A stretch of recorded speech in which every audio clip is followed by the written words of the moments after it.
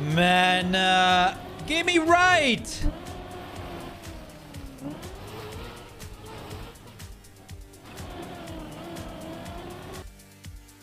Did I really just get the worst possible possibility on the possible of the randomness?